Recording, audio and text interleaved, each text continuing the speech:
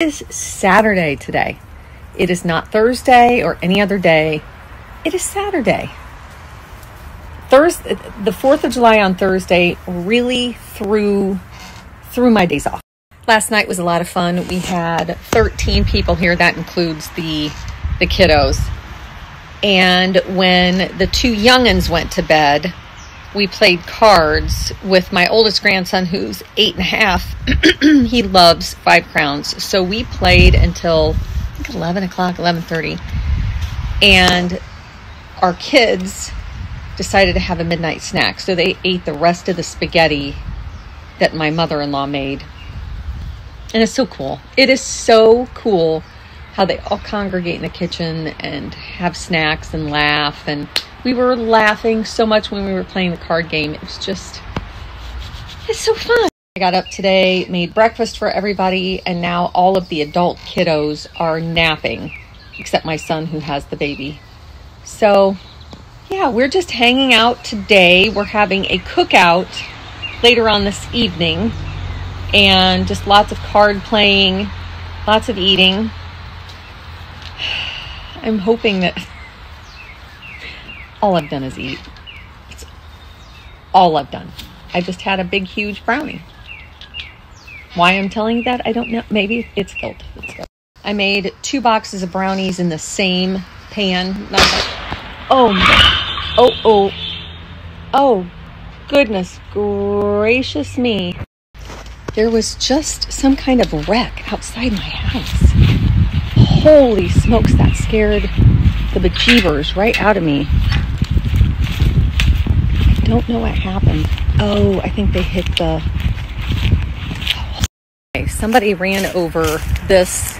It's a like a crosswalk because there's a school right there, and the the sign is on a hinge. So if you hit it, it it falls off. But when I turned around and looked after I heard that noise, somebody's looks like they got some some damage on the front of their car because I could see the front fender was kind of hanging. After that wreck story I told you the other day, I was I was afraid to see what had happened.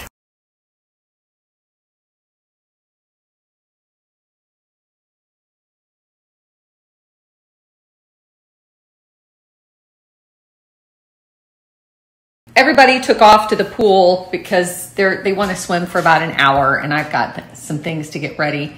So I thought I'd answer some questions. We live in Greensboro, North Carolina, and the weather is absolutely amazing. Absolutely amazing.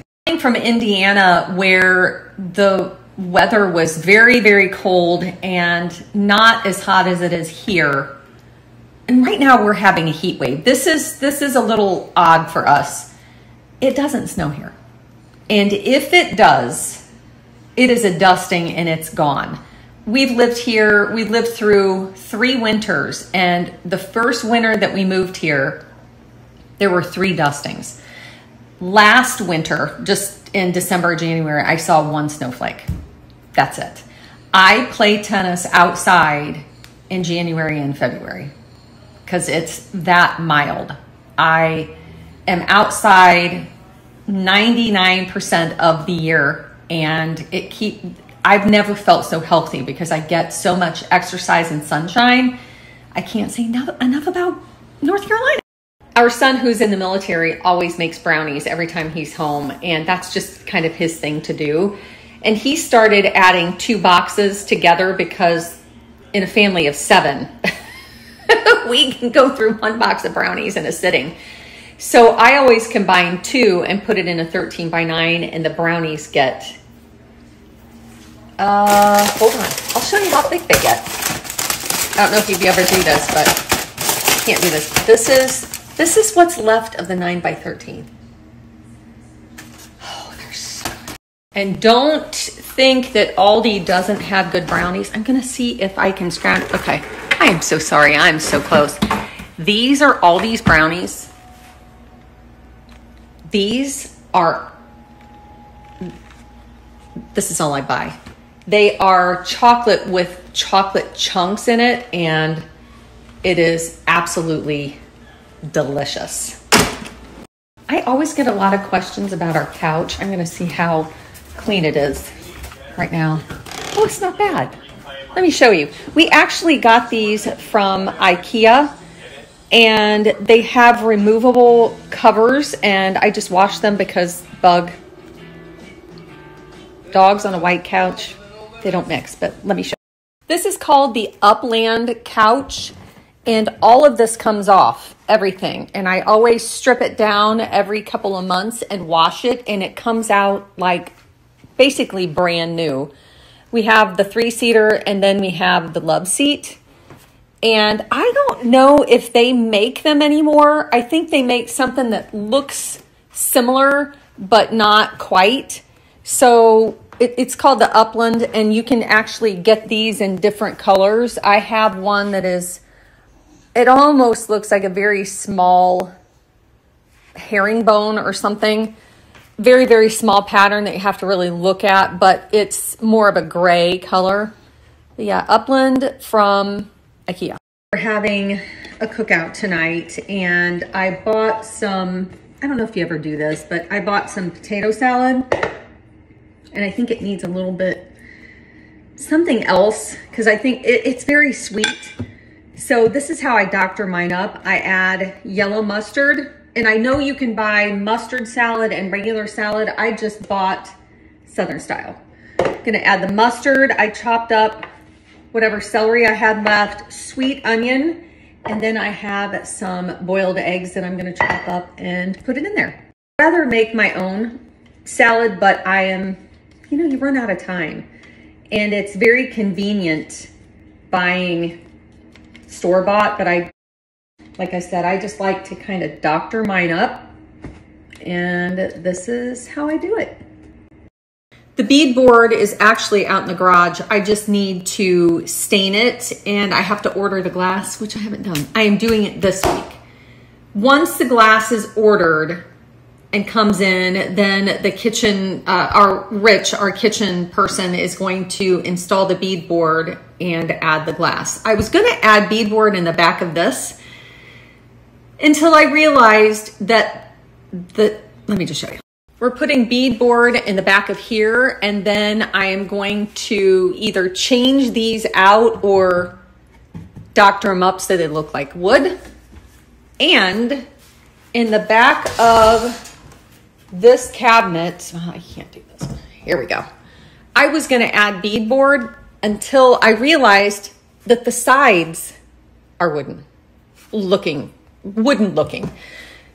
So I might add wallpaper in the back of that to kind of give it a little more, I don't know, little little fun when you open the door. Guys, potato salad, chicken.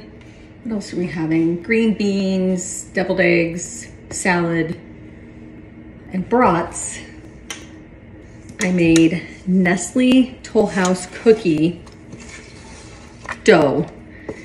And I do the pan cookies but I just chopped up a bunch of chocolate that I had. I buy the Aldi's bars and I just chopped them up. So there, I think there are three different kinds of chocolate in here. Oh, that's too bad. I got it on my finger. Go ahead and bake these. I think it's 325 for 25, 30 minutes. I'll put the recipe link on the screen.